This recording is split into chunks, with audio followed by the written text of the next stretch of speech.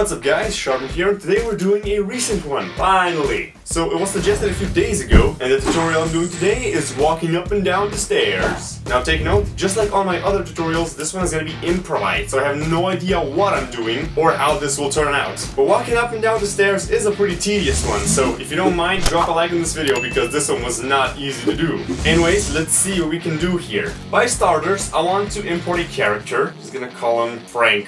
I recommend you put Frank in a folder because I said folder because this will help you animate stuff. Name the folder Frank as well, so this is Frank. Because having your character in a folder will help you add some overlapping action to make it look like it's actually walking up the stairs. I do recommend a folder for this one. Now I want to just make a short walking cycle for this guy so he walks to, up to the stairs and then I'm gonna animate the stairs. So, okay, so so far our Frank walks up to the stairs and stays here because we're gonna animate him walk up the stairs. The problem here is, the stairs in Minecraft are freaking huge, okay? It's like, compared to me, a stair would be this big. Like, I would, I would have problems walking up these as well. But the second problem is that the legs of Minecraft characters are pretty short, which is also a problem. What's more, we don't have any ankles to work with. It's gonna be pretty hard to make this. I'm just gonna animate the legs first, and then I'm gonna animate the body and the head and stuff. But first I wanna focus on the legs. As he stands up, leg will be extended. The body will of course adjust to be on the same position as the leg was before it extended. Woo! I did not meant to do that. Put him forward so the leg is in the same place as it was before, like this. Then this leg is of course going to bend upwards. Which is way too fast if you ask me, alright. This leg should go backwards a bit, so it makes it look like he stepped on his toes, you know? I don't know. I'm trying to get the leg as high as possible. Or else I'm just gonna have to make him jump up the stairs, because that's also possible, because why not? We'll be like this. This is what I'm gonna do with this leg. Also, this one needs to go further back. So it looks natural. No one does this. It looks way more realistic. Follow the gut feeling, because the gut knows the best. I've said that once before. I'm saying it again now. Alright, so I'm just trying to get this step here. Like this steps here and this leg should probably have an ease in and out here because, alright, maybe making like so. Like that. Takes a step. Alright, this is not too bad, except that this part, the leg is going through the floor, so I'm gonna make a new keyframe for the folder, select both of them, and just move the entire folder backwards a bit. So it's like this. it doesn't go through the stairs. Now I'm just gonna delete the second keyframe. So it's like this all the time. So he steps back, walks up the stairs, puts the leg up, and tries to step on it. So this part doesn't look too bad so far. Now the problem is gonna animate him step on the stairs. So bend this leg a little bit, put it backwards, like so. Adjust the character position, because the leg always needs to be in the same place. He is still standing on this bottom leg, so we need to make him look like he's doing that. And as he takes this step, yeah, this doesn't look too bad. The timing is also pretty nice. So I'm gonna make him stand this leg, so it looks like he took the step on the stair. So it's like this now, look. Bam. Yay! He took the step on the stair! The second thing we need to do is, this is pretty high. He cannot simply just make the next step off this leg. He needs to lean on this leg and then step up. You know what I mean? I don't know how to explain, but you'll see what I'm doing after I do it. So this leg needs to have all the pressure on itself. So I'm just gonna make this leg retract a bit more and put the body standing on this leg now, because this is gonna be the main leg now. Bam, too much this. Yeah, look at this. This is what I like. When I'm gonna animate the body, the body's gonna go forward. He is now standing on this leg, you know what I mean? This is what I'm doing here. He's leaning on the leg on the stair. He needs that balance when he steps on the leg. Now, um, this leg was here. We gotta animate it go into the same place. Okay, this is gonna look funny. Let me just try. And if it looks good, then I'm just gonna use it. This point should be in the same place. So like, yeah, this actually does not look bad at all. The point is in the same place, makes him look more solid, you know? This, which actually does not look that good. Alright, so I'm just gonna retract this leg so the point is always in the same place. Okay, maybe it's off by a bit, but cut me some slack. This leg is gonna get extended, like so. And this leg is going to go upwards, so it steps on the second stair. Now, this is going to be a problem, so I'm gonna split this motion into two. So the folder and the character are gonna work in conjunction with each other. So the folder is gonna take over the up and down motion, and the character is going to take over the horizontal motion. So first off, as he extends his leg, I'm gonna I'm just gonna move this guy for in inwards, and then I'm gonna move the folder upwards like so. Wow, I actually got it in the first try. I was gonna move this guy inwards, then this one upwards. I was gonna adjust the left and right position, but it seemed like I got it right in the first try. Look at this. But as you see, this happens. This is why we have the folders, because they're currently both linear, which is the same if I just made one motion, but the up and down motion is gonna have an ease out, and this one's gonna have an ease in. At least I think this would function. Yeah, it's closer than it was before. Maybe let's uh, give an ease in sine to this one, or an ease out sine. Almost, you see? Because as he extends the leg, it goes upwards way faster than it goes forwards. Let's make this a bit slower as well. You see this? It looks like he's walking up the stairs. Uh, now also, I think I need to add the third folder because these things are really tedious. Third folder, Frank! This frame is okay, this frame is okay, but in the middle, it just goes out of sync. So I'm gonna add the third folder to fix the previous positions. So it's like, this is just for the corrections. Sometimes three folders are needed, so if you add an ease in and out to both of these, this happens. Again, it's not perfect, but it's pretty close. I'm just gonna leave it like this. And then I need to adjust this leg. It is okay here as he steps down, but it's not okay when he goes through the stair, and then this is okay again. So at this point, when it's going through the stairs, I would much rather put it back and extend it. Or like this, actually. The first frame, because steps, needs to extend that leg. I'm just gonna make it go like this, you know? Because he extends that leg. I'm just gonna keep this leg being backwards a bit. Although this is messing with his balance, so I'm gonna gonna put it like so. This guy walks up the stairs.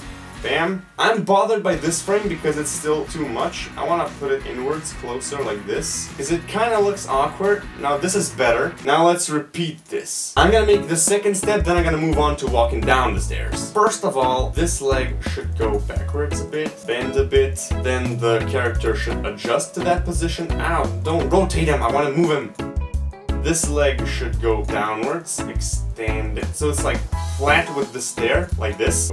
Took the step. Then he needs to lean on that leg. So now this leg is in charge. Upwards, bend a bit more. Now the character should adjust to the upper leg. I'm watching this upper leg now. It adjusts to the upper leg. Okay, this is okay. Now adjust this leg to be in the same position as it was before. I have to go through the stair for this one. I don't like it. I don't like it one bit. Look, this is what I have to do, but now it's inside the stair. I wanna cheat. I wanna move the position of the leg upwards, because I don't think there's any other way for me to do this right now. Look, it doesn't look weird at all, except it does go through the stair a little bit, but it's not gonna be visible because this leg is gonna extend soon anyway. One, two, three, four, five, six, seven, eight. I wanna keep my timings right. Eight ticks, this foot is gonna extend, gonna go upwards. This other foot is, of course, going to settle down for the next step. This one might go a little backwards. And then, as I said before, this character is just gonna go left and right. This folder is going to go up and down. And I wanna adjust the left and right the character has an ease in sine, the horizontal motion, and the vertical motion has an ease out of sine. So it's like this. Yay! Now I need to adjust the folder again. As you see, it just is left and right. So the third folder is just here for adjustments. Add an ease in and out to both of these. And now this happens. This guy's now walking up the stairs. Jeez, I thought this was gonna be more tedious and hard to animate, but look, but of course I need to adjust this leg here. Now it's gonna be extended. Now here I'm just gonna bend it all the way up so it doesn't go through the stairs. Also maybe this foot should go backwards a little bit. The character should adjust. Alright, this guy just took two steps on the stairs, which is pretty self-sustainable if you ask me. Now all I gotta do is the upper body motion. Before I do that, let me say this. You might hate folders, because sometimes I do as well, because they're, they're kind of annoying to work with. But if you take a look at these steps, folders are not that bad, okay? Folders give you a lot of things. Just saying. Alright, let's start with the body, then the head, then the arms. That's what I'm gonna do. Body is going to move with the leg, and it's gonna give some space to this leg. Maybe lean forwards. So it gives space for this leg. Of course, it does look funny now because the head is completely still. We're gonna fix that later, don't worry. We'll just work on the body for now. And now, as it bends down, the body should turn down, bend upwards. This red axis is gonna go down and lean towards the leg. Maybe even downwards a bit, not that much, not as much up. So it's like this. So the next one, I'm just gonna reset all position because that's easier. Uh, make way for this leg, maybe even turn this way a bit. Bend upwards because he is now walking. Move the other way, give space for this leg, like so. The body should not be overlapped. The motion here is too fast. He's stepping on this leg. I might even adjust this one because down more than it should go up. This frame should be bent forward. Bam, bam. I have seen enough. This is okay. Reset the position because it's easier for me to just move the character where it needs to be. This is with the body. Bam, bam. It looks funny with the head, but we're gonna animate the head now so it won't look as funny. So the head should basically always be looking at the same direction. As he goes down, the head should look upwards. So rotate all three axes in this one. It might look a bit funny. It's just too fast. I think this frame here should move backwards a bit because the body should start going down sooner and the head is moving too much up so let's maybe if he had eyes, that would be much easier, like the eyes rig, because then I could help myself with the eyes. This one is not that bad. This one actually looks pretty natural. What's wrong with this one though? I think the body is bent too much. Like this. So it's like Okay, yeah, this looks better. Wow, I fixed it. Animating this is pretty hard. This is for the body and the head. It does look kind of awkward because going up and down all the time. So maybe like don't go for as much exaggeration as I did here maybe. Just lean it forward enough so it looks like he's standing on this leg and that should do. I want to fix this. Really, I want to I want to fix this because it looks too good for me to just abandon this idea. Also this needs to be adjusted now. The rotation is too much. This upper part here, maybe this. Now this Looks a lot better. Okay, I'm gonna leave it like this. It's not perfect, but I can't bother fixing everything. Then I'm gonna be here forever. This arm could go out a bit, like so. This is where the arm would go backwards, because he's standing on this leg. Okay, maybe this should be moved back a bit, so it's like this. Also has the overlap, which I'm looking for, so that's also nice. Maybe you can move it outwards a bit of this frame, because this is a mobile state. I'm gonna make, make this arm come inwards again. And that's not really that hard. The arms are okay. Okay, yeah, so each time it steps, the arm changes position. So this arm should now go backwards. He's standing on that leg. Maybe outwards a bit as well, like this. Then he steps on this leg, and this arm should automatically go forward because, like, it's just a regular walking cycle again. Okay, now if we play this, this guy is gonna walk up and down the stairs. I mean, just up the stairs, like this. Okay, the arms might be too much. Also, this frame could use some bent arm here. Or, I don't know, there's something missing here. Just move it back and extend it so it's like relaxed. I don't know, but something bothers me when the motion here starts. It should start sooner, I think. Like this. Because the body turns suddenly and the arm's just still here. Maybe that's the problem because the body turns too suddenly. I'm bothered by the simplest of things which is not even connected to the walking up the stairs, but still. So this is the up part. Maybe I exaggerate the arms as well a bit. Like you see what's the problem here. Now let's do the walking down the stairs, and let's hope this is gonna be faster. I have not animated the body yet, just the legs and the character position. Again, the Frank is in a folder because folders are great. What I'm gonna do is the same thing as before, just reversed. The leg should go backwards and bent, and then the character should adjust its position. Now the folder is the character, because it has the same position, so I'm just gonna animate the folder for the position. There isn't a set of rules how to do this. It's just understanding what's gonna happen. Okay, so he took the step here, and this leg should just stand completely, go outwards, like so. This leg is now on the ground, like so. This is how it steps. This leg is now bent upwards. Now this is the goofy part, part, and I would recommend you not show the legs at this part. So the Frank now, the character, is gonna have the up and down motion, the folder is gonna have the left and right motion, just like before. Except I think the roles are different. This goes down to this point, and the left and right is just going forward. This happened.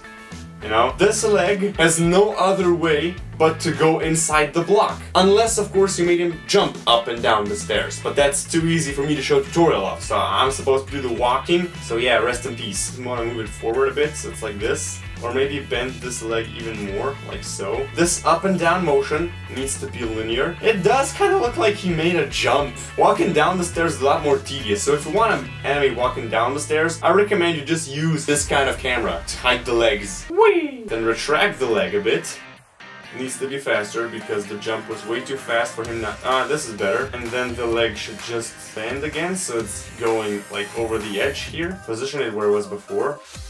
lands down, leg retracts, and then just moves forward. So it's like, and this leg doesn't need an in-between frame, just move it like this, because this leg is going to step. This leg is going to be the leg to, to take the next step. So it's like this. So let's give it an ease in here.